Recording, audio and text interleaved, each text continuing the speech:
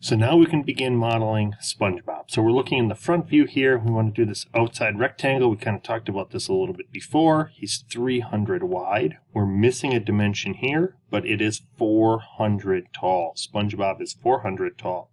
So we're going to go back into here and we're going to look down our toolbar. Lower left hand side of our toolbar here, we have the tape measure tool.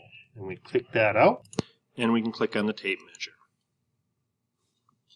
So that's how we make stuff to actual size. Anytime we model in SketchUp, we want to model to size. And that's why they have this person here so that you know what's how big a person is. So we said it's 300 wide. So from this blue axis, be careful, don't click on the origin here at all. Click on the blue axis, move it to the right, and I'm going to click it to place it, and I'm going to type 300 and hit enter. It should come to about halfway across her foot.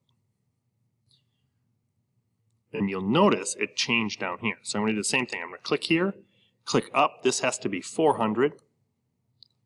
So I look down here in the length, type 400, hit enter, and it moves it to 400. If it didn't do it, then you just have to erase them and redo them. Now we're going to come in and put the initial rectangle. Rectangle tool. Make sure to click on the black origin here first, and then I'm going to come up here, and I'm going to click on the intersection second. Boom. Look down on the dimensions, 300 millimeters, comma 400 millimeters. I know I did it right. If you don't have 300 by 400, let's say it says 295 by 400. That's going to be worth 50% credit, so we want to make sure to get that 300 by 400. How do I fix it?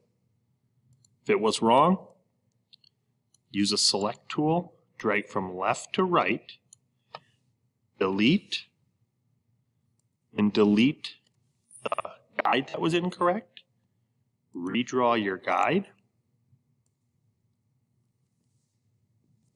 300, and then draw my rectangle. 300 by 400. I'm ready to go. Initial rectangle is done. Click Save. When it says saved, I can be done with that step.